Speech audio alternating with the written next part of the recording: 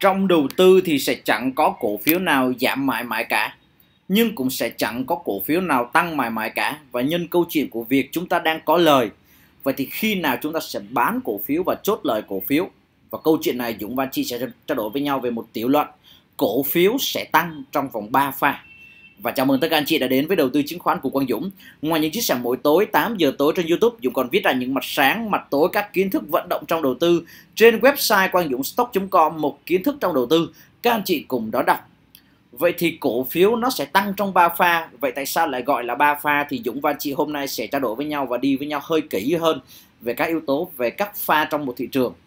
Nếu như đây là một cái diễn biến của tài sản của chúng ta và tất nhiên ai cũng muốn tài sản của chúng ta của chúng ta tăng Vậy thì cái ban đầu của khi cái cổ phiếu đó tăng á, không phải là do lợi nhuận tăng, không phải là do doanh thu tăng, mà đó là cái những sự kỳ vọng của làn sóng đón đầu của các nhà đầu tư.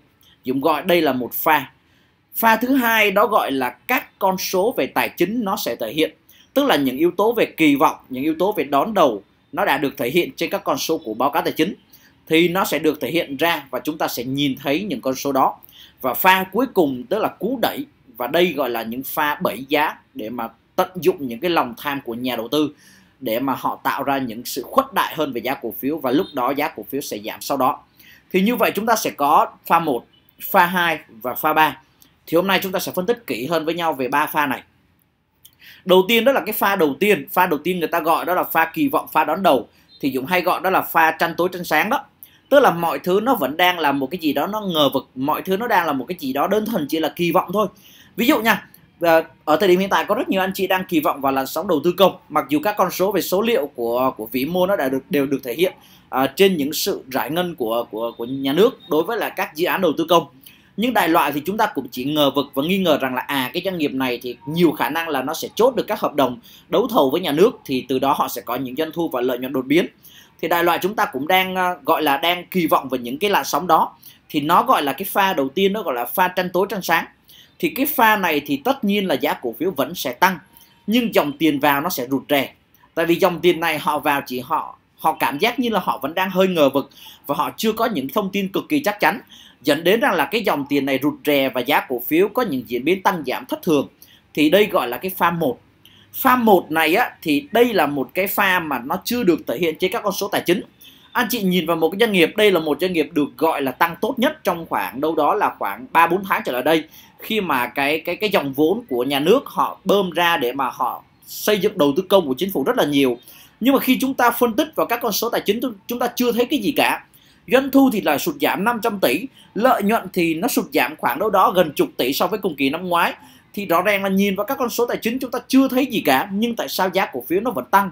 Có những cổ phiếu tăng khoảng 15 20 phần trăm, có những cổ phiếu tăng đến 30 đến 40 phần trăm, trong khi các con số về tài chính nó chưa được thể hiện.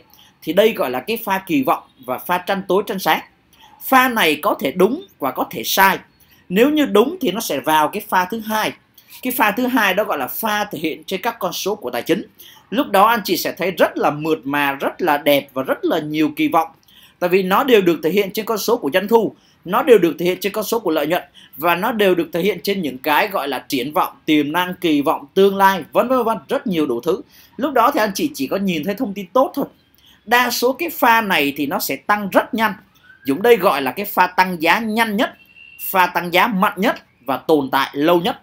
Và pha 2 là cái pha giúp cho anh chị giàu rất nhanh nếu như anh chị lựa chọn đúng pha 2 sẽ là cái pha giúp cho anh chị đầu tư hiệu quả rất tốt nếu như anh chị lựa chọn đúng và cái pha này là cái pha giúp cho tài sản của anh chị tăng một thời gian rất dài nếu như anh chị lựa chọn đúng vậy thì chúng ta cùng nhau phân tích kỹ hơn về cái pha này pha này gọi là pha kiếm tiền pha này gọi là pha để làm giàu đó và Dũng nhận thấy có rất nhiều các doanh nghiệp trên sàn chứng khoán Việt Nam đang nằm trong pha 2. Nhưng pha này nó gọi là pha mạnh nhất và lâu nhất. Nhưng lâu hay không lâu, tăng dài hay không dài thì nó phụ thuộc rất nhiều vào các yếu tố về ngành nghề. Dũng xin nhắc lại và nhấn mạnh lại với anh chị, nó phải phụ thuộc vào các yếu tố về ngành nghề và chính sách. Dùng ví dụ về một vài ví dụ như sau. Đây là ngành sản xuất. Ngành sản xuất sẽ là ngành có pha 2 tăng lâu nhất, tăng mạnh nhất và tăng bền nhất đây là một cổ phiếu đầu ngành của một lĩnh vực ngành sản xuất và nếu như anh chị tinh ý doanh thu lợi nhuận tăng trưởng nó tồn tại trong vòng 10 năm tức là cái pha 2 của cái doanh nghiệp này nó hoàn toàn có thể tăng trong vòng 10 năm thì đây chính là cổ phiếu của Vinamilk và Vinamilk nó hình thành cái pha 2 từ năm 2009 và nó kéo dài cho đến năm 2019 tức là trong vòng 10 năm và cổ phiếu liên tục tăng trưởng và cái pha 2 này liên tục tăng trưởng về doanh thu và lợi nhuận. Nhưng có những ngành nghề khác thì lại không được màu hồng như là Vinamilk và các doanh nghiệp sản xuất. Các doanh nghiệp này Dũng gọi đó là cái ngành nghề, ví dụ như là ngành xây dựng, nó liên quan đến một vài ngành nghề có tính chu kỳ đi. Thì ngành xây dựng là ngành nó có những yếu tố tăng trưởng nhanh nhưng nó không tồn tại trong một thời gian lâu thực tế thì nó chỉ tồn tại trong vòng khoảng hơn 2 năm thôi và cái pha 2 này của một cổ phiếu cũng thuộc dạng cổ phiếu đầu ngành của cái lúc mà ngành xây dựng nó tăng á, thực tế thì pha 2 này nó chỉ tồn tại được trong vòng khoảng 1,5 năm thôi. Tức là cái pha 2 nó đã bắt đầu vào khoảng đầu năm 2016 và nó kết thúc vào khoảng tháng 6 năm 2017. Thì cái pha 2 này nó cũng chỉ tồn tại được trong vòng khoảng 1.5 năm. Nhưng cái pha này 1.5 năm đó thì nhiều nhà đầu tư đã nhân 2, nhân 3, thậm chí nhân 4 lần tài khoản nhờ cái pha 2 này. Nhưng không phải tất cả mọi thứ đều là màu hồng như vậy có những ngành nghề nó chỉ tồn tại được trong vòng 6 đến 12 tháng thôi. Dùng ví dụ đó là ngành dịch vụ. Nếu như chị nhìn về cấu trúc doanh thu và lợi nhuận, anh chị sẽ thấy rằng là cái con số về sự gia tăng về doanh thu và lợi nhuận nó chỉ tồn tại được trong vòng có khoảng 3 đến 4 quý thôi. Và thực tế cũng chứng minh với anh chị giá cổ phiếu nằm trong pha 2 này nó cũng chỉ tồn tại được trong vòng 6 tháng thôi. Đây là một cổ phiếu trong trong lĩnh vực về dịch vụ, về tài chính. Dịch vụ, về tài chính thì tức là anh chị cần thì cũng được, mà anh chị không cần cũng được. Chẳng qua lúc nào mình thấy thị trường tốt thì mình sẽ vào, mình không thấy thị trường tốt thì mình sẽ rút. Nó không ảnh hưởng đến cuộc sống của mình. Do đó cái tính chu kỳ của các doanh nghiệp ngành dịch vụ nó rất là cao. Thì cái pha 2 này nó tồn tại vào khoảng tháng 10 năm 2017 và nó kết thúc vào khoảng tháng 4 năm 2018 vậy tức là nó chỉ tồn tại được trong vòng có 6 tháng thôi như vậy thì thông qua câu chuyện và ví dụ như vậy để chúng trao đổi với anh chị pha này là pha quan trọng nhất pha này là pha kiếm nhiều tiền nhất và đòi hỏi chúng ta phải phân tích kỹ và các yếu tố về ngành nghề và doanh nghiệp nhất Dũng xin nhắc lại, pha này là pha quan trọng nhất và chúng ta cần đặt ra nhiều thời gian để nghiên cứu về những doanh nghiệp này. Vậy chúng ta phải nghiên cứu những gì? Đầu tiên tất nhiên pha này là pha được thể hiện trên các con số về tài chính.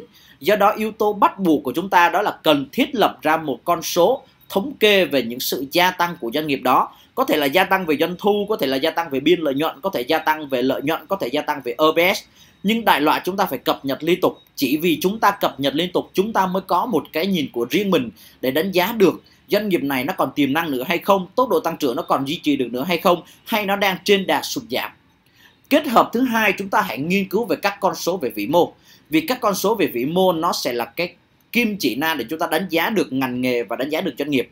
Các con số về vĩ mô thì ở thời điểm hiện tại của kinh tế phát triển và kỹ thuật số, thì do đó các con số về vĩ mô không quá khó tiếp cận. Anh chị hoàn toàn có thể tiếp cận trên các báo cáo cập nhật của các công ty chứng khoán, hoặc anh chị có thể liên hệ với Dũng nếu như anh chị cần một vài các con số về các ngành nghề, thì anh chị có thể liên hệ với Dũng để Dũng sẽ gửi với anh chị một vài báo cáo để cập nhật.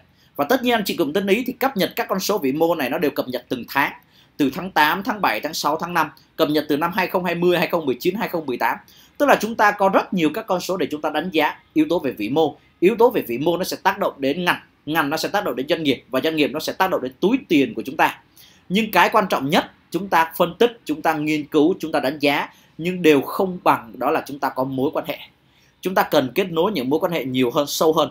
Nếu như anh chị xác định ngành đó là cái ngành trọng điểm trong vòng những năm tới thì chúng ta nên thiết lập các mối quan hệ bạn bè của mình, xung quanh mình, sếp mình hoặc là những nhân viên của mình. Chúng ta cần kết nối những mối quan hệ để có những thông tin cực kỳ sát sườn.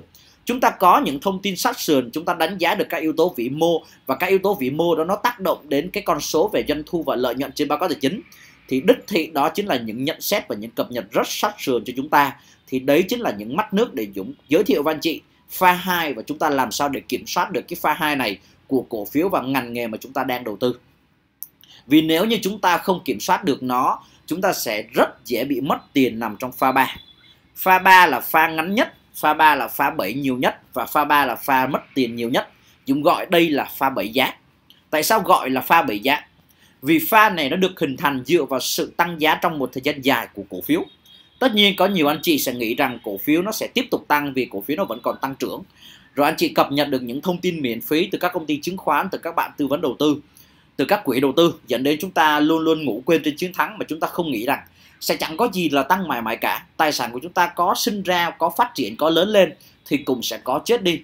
Nhưng tất cả, nhưng nhiều nhà đầu tư người ta sẽ ngủ quên trên chiến thắng. Và khi ngủ quên trên chiến thắng thì nó sẽ có một pha gọi là pha bẫy giá. Pha bẫy giá này tức là cổ phiếu nó vẫn sẽ tiếp tục tăng. Nhìn về một con số bình thường thì nó không có gì đặc biệt cả thông tin vẫn tốt, kết quả kinh doanh vẫn tốt, giá cổ phiếu vẫn tăng, cổ phiếu vẫn bất định đó. Dũng hay gọi đó là pha bảy giá, đó là bảy bất định đó. Nhưng khi mà cổ phiếu đó bất định xong và giá cổ phiếu lại liên tục sụt giảm. Và khi cổ phiếu đó liên tục sụt giảm, nó có một pha thêm, đó gọi là pha phân phối. Khi phân phối xong thì cổ phiếu nó bước vào pha downtrend. Thì cái lúc đó là cái lúc mà chúng ta dễ mất tiền nhất, chúng ta chán nản nhất, tiền chúng ta rơi nhanh nhất rồi nhiều khi anh chị quăng tiền còn còn còn còn dễ hơn là anh chị đốt tiền nữa. Mặc dù tin thì vẫn tốt, nhưng mà tài sản thì vẫn giảm, tiền thì vẫn mất. Thì đấy gọi là pha 3 gọi là pha bẫy giá. Và nếu như chúng ta không phân tích được pha 2 thì rất dễ dàng nằm trong pha 3 vì Dũng tin luôn có rất nhiều cổ phiếu anh anh chị đang nắm giữ vẫn nằm trong pha 2 nhưng nhưng nó chỉ tồn tại được trong vòng năm 2020 thôi. Có những cổ phiếu anh chị vẫn tồn tại được 2020 đến 2022 có những cổ phiếu có thể tồn tại được 2020 đến 2025 nhưng cái quan trọng là anh chị phải nắm rõ được cái ngành nghề của mình, cái dòng tiền đó vào, cái sự tăng trưởng của doanh nghiệp đó nó có kéo dài được hay không. Vì nếu mình không nắm giữ được, nắm nắm vững được cái yếu tố đó chúng ta rất dễ bị bẫy giá ở nằm trong pha 3 và khi bị bẫy giá thì tiền chúng ta sẽ bị mất nhiều nhất. Do đó pha này chúng gọi đó là pha ngắn nhất và pha mất tiền nhiều nhất và mất tiền nhanh nhất nếu như chúng ta không tỉnh táo. Trên đây là những quan điểm và chia sẻ ngắn của Dũng về việc cổ phiếu tăng giá và nó sẽ tăng giá theo 3 pha và chúng ta cần nghiên cứu pha đầu, pha 2 và pha 3. Dùng tin trên sàn chứng khoán có rất nhiều doanh nghiệp đang nằm trong pha 2 nhưng không đồng nghĩa rằng pha đó nó sẽ kéo dài mãi mãi. Có những có những doanh nghiệp, có những ngành nghề nó chỉ tồn tại được trong năm 2020 thôi.